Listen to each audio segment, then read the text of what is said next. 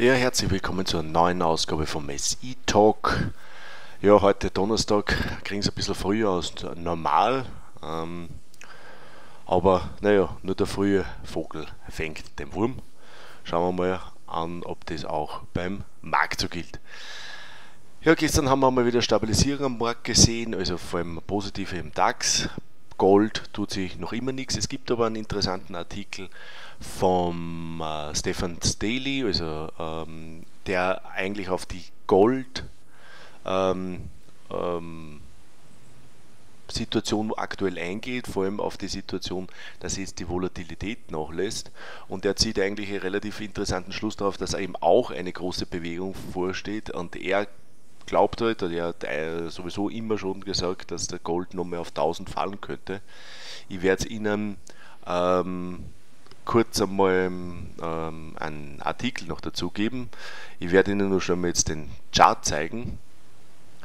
Den haben wir hier. Sie sehen, er sieht eine, hier eine massive Anballung von äh, ja, Widerständen wenn dieser unterschritten wird, geht er davon aus, dass Gold, weil wir hier in einem absenkenden Dreieck sind, auf ja, unter 1000 fallen könnte. Er sieht aber auch gleichzeitig, sollte das passieren, dann ist das eine Kaufgelegenheit und wäre eine extrem bullische Situation, weil dort natürlich dann äh, krasse Übertreibung stattfindet. Das kann natürlich jederzeit passieren ähm, oder das könnte natürlich passieren. Ich gehe aber nach wie vor eigentlich nicht davon aus. Äh, und er schreibt auch von einem großen Aber, denn ich glaube, dass der Markt eigentlich oder dieses Desinteresse beim Gold einfach zusammenhängt ähm, mit dem, dass das Anlegerinteresse einfach schwindet. Und das ist meines Erachtens ein gutes Zeichen, dass der Markt am Ende einer Konsolidierung steht. Hat aber allerdings auch das Problem, und da gebe ich vollkommen recht, bewisse sind dort Kräfte am Goldpreis äh, am Arbeiten, ähm, die uns den, oder die den Kurs relativ leicht manipulieren könnten. Und da muss man halt natürlich dann einfach sagen, äh, ein ausdünnendes Volumen, wie wir es jetzt sehen, eine Desinteresse, äh, niedrigere Volatilität führt dazu, dass man wirklich starke Marktreaktionen mit relativ wenig Mitteleinsatz erreichen kann. Das heißt, auszuschließen ist das Szenario nicht. Es ist unwahrscheinlich meines Erachtens, aber ausschließen kann man es nicht. Und Deswegen ist spannend, deswegen wollte ich nochmal darauf hinweisen, äh, dass natürlich sowas passieren könnte, äh, auch wenn es ich nicht für unter normalen Gesichtspunkten für möglich halte, aber das heißt halt leider nichts, weil Gold halt einfach ein anderes Instrument ist, was wir äh, ja, was schwer eigentlich äh, zum Voraussagen ist, weil es einfach so im Fokus steht und auch so manipuliert wird. So, den Link finden Sie aber dann äh, bei uns dabei. So, was haben wir noch? DAX. DAX äh, hat gestern eigentlich relativ freundlich bewegt. Wir sind über diese ähm, Widerstand, Unterstützungslinie drüber gegangen. Wir sehen hier, wir haben hier eine Aufwärtsbewegung, die ja, angekratzt wird. Ich meine, das ist ein relativ steiler Trend. Ähm, ich, meine Idealszenario wäre, wir wären höher gelaufen, bis 9,9, bis 10 hätten dann eine Konsolidierung gemacht, dann hätten wir 3-4% verloren. So sind wir nur gut 1,5-2% über diese unter, also Widerstand gegangen und haben dann konsolidiert. Äh, gestern war das FED-Protokoll, das rausgekommen ist. Ähm, äh, also das letzte Sitzung, Sitzungsprotokoll, da steht sehr wohl drinnen, dass darüber diskutiert wird, wie man die nach der Normalisierung und welche Mittel das, Möglichkeiten das auch bestehen. Ähm, das muss man sehen, was da dementsprechend rauskommt.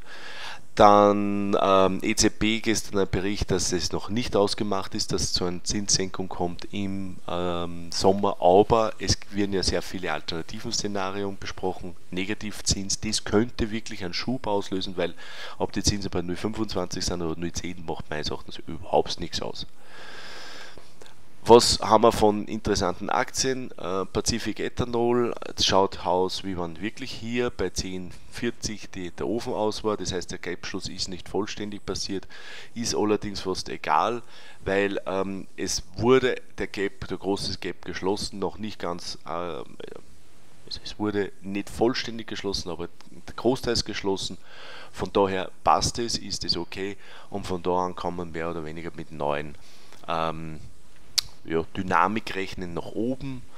Man muss aber davor sagen, und das muss man halt einfach sagen, ähm, es hängt massiv am Ölpreis und es hängt massiv am Ethanol und auf dem Kornpreis. Also der Korn, das Ethanol wird aus, aus, Mais, aus Mais äh, gewonnen.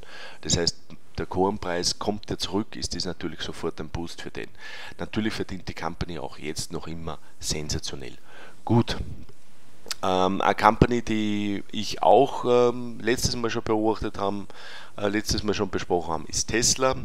Tesla hat da unten jetzt äh, einen Boden ausgebildet und es wird, dort es eigentlich spannend, weil wir kommen von oben natürlich mit einem ähm, Widerstand und dieser Widerstand muss jetzt erst getestet werden, ob das tatsächlich die vollständige Konsolidierung war, ob es dort jetzt der Markt ausbricht. Sollte das passieren, dann könnte es sehr leicht sein, dass wir alte Hochstände wieder überschreiten. Ja, das war es auch heute schon. Ich hoffe, morgen geht sich noch eine Version aus. Ich wünsche Ihnen viel Erfolg. Nützen Sie das schöne Wetter auch teilweise, dass man mal rausgeht. Ähm, draußen ist es auch schön und da braucht man nicht nur vorm Schirm und am PC sitzt. Und das ist sowieso das Beste, wenn man Investments tätigt, die nicht ganz kurzfristig sind, wo man einen gewissen Horizont hat, wo man auch mit einer gewissen Ruhe an den Markt reinkommt. Mir kribbelt es langsam schon wieder unter die Finger, dass ich irgendwas mache. Ähm, Pacific Ethanol ist sicher ein Thema, es ist Tesla ein Thema, es gibt ein paar andere Aktien, die ich auch in letzter Zeit vorgestellt habe, die mich wirklich reizen. Sie werden sehen, was ich mache. Tschüss. Bis später.